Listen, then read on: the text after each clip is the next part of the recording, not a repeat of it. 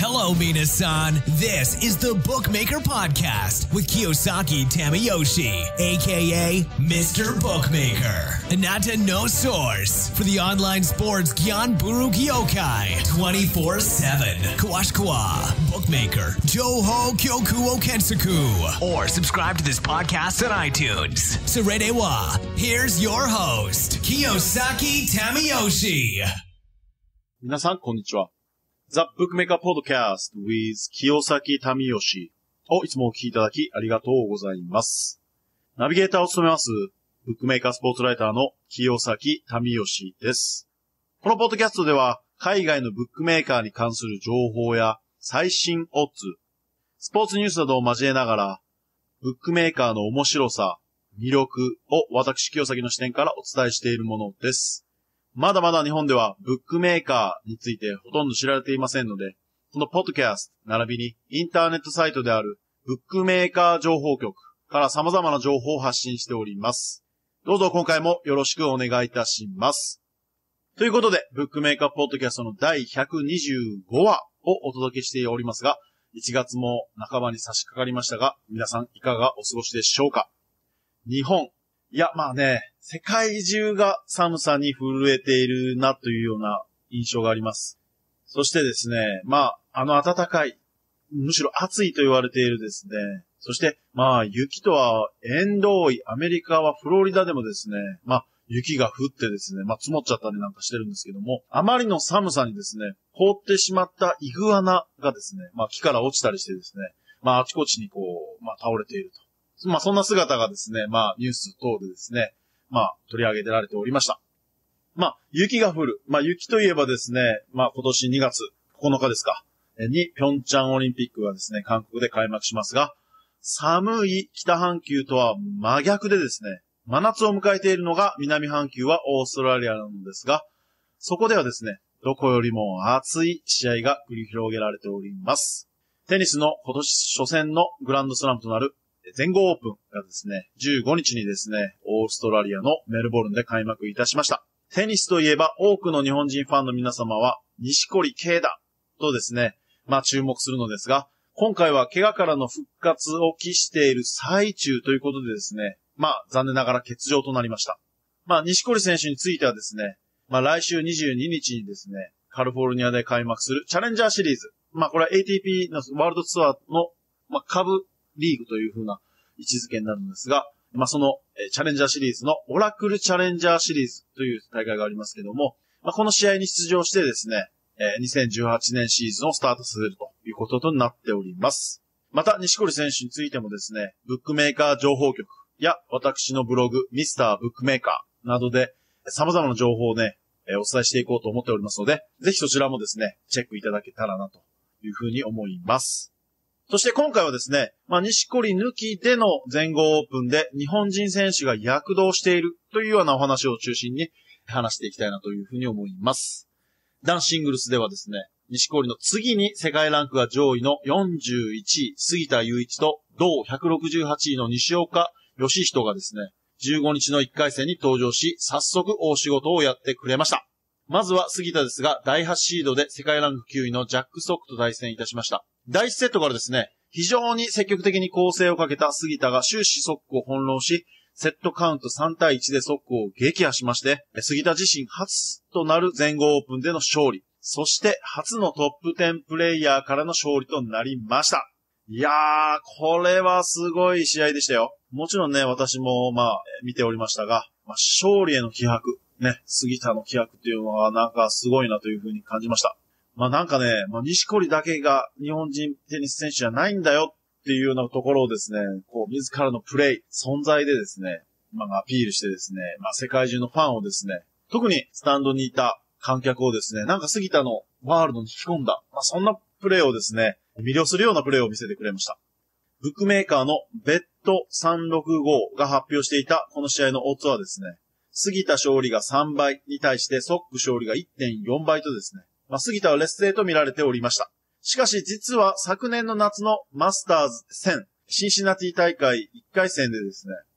まあ、実は杉田とソックは対戦しておりまして、その時は7564で杉田が勝利していました。まあ自身もですね、この全豪オープンの1回戦後のインタビューで、まあ相手の方が自分自身との試合がやりにくかっただろう、みたいなことをですね、述べておりました。まあブックメーカーのオッズ、数字だけではわからない部分というのがですね、特に、まあスポーツにはありますね。もし昨年の杉田とソックの試合について、その内容も含めてですね、知っていれば、杉田の方が相性がいいから勝つのでは、というですね、予想もできたことでしょう。まあ、こういう対戦相手との相性などもですね、まあ、スポーツベッティングにおいてはとても重要な情報となるので、ぜひこのブックメーカーポッドキャストをお聞きのリスナーの皆様にはですね、このあたりも注目してブックメーカーで楽しんでいただけたらというふうに思います。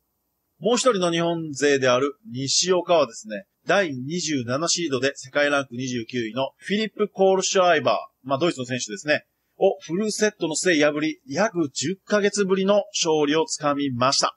まあ西岡といえばですね、えー、昨年の3月にですね、左膝前十字靭帯を断裂しまして、世界ランクも58位まで上昇してトップ50入り目前と言われておりましたが、戦線離脱を余儀なくされてしまいまして、現在はですね、168位まで世界ランクを落としております。そして自身初となるグランドスラムでのシード選手撃破で2年連続で2回戦進出を決めて見事に怪我からのカムバックを果たしました。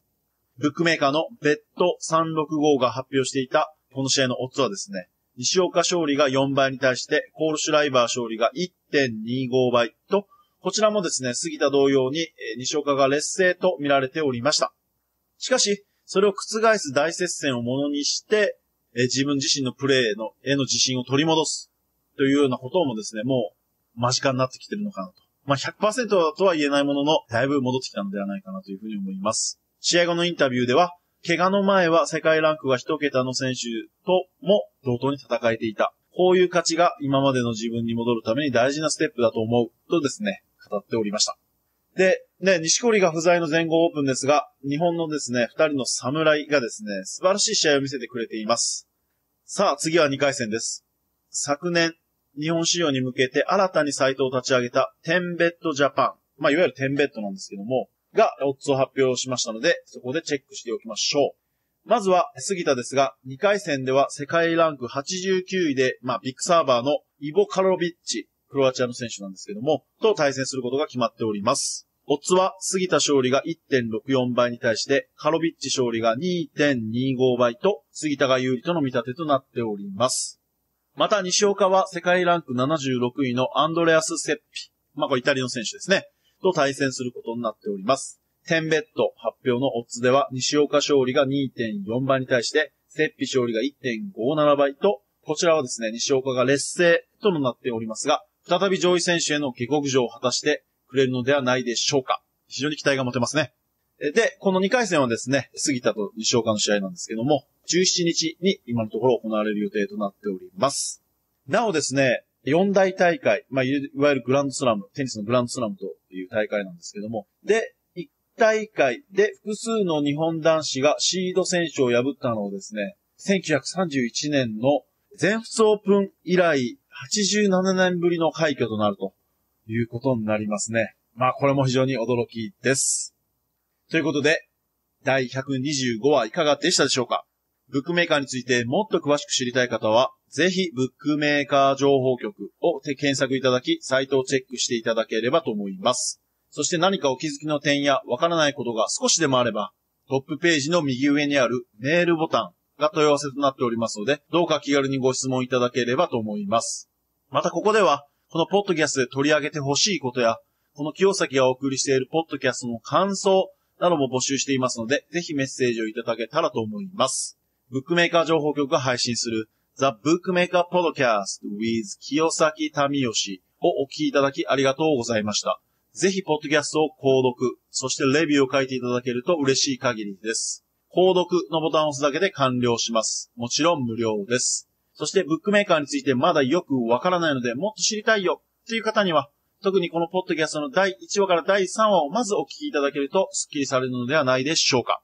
ブックメーカーとは何なのか、そしてブックメーカーの一体何が面白いのか、などをですね、わかりやすく、私、清崎は語っております。最後に、ブックメーカー情報局からのお知らせですが、ブックメーカーで遊ぶために必要な決済サービスであるエントロペイとエコペイズの登録方法や入金方法をわかりやすくまとめたページを設置しております。ブックメーカー情報局トップページ、右サイドバーにある e ウォレット登録方法、使い方のところに設置していますので、ぜひご参考にされてはいかがでしょうか。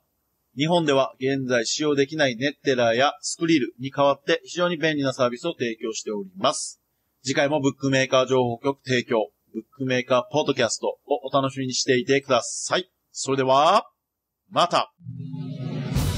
This has been the Bookmaker Podcast with Kiyosaki Tamayoshi, aka Mr. Bookmaker. Konu content okinitira. Zehi Bookmaker, Joho Kyoku o Kensaku. Or subscribe to this podcast on iTunes. Dewa Mini-san. See you next time.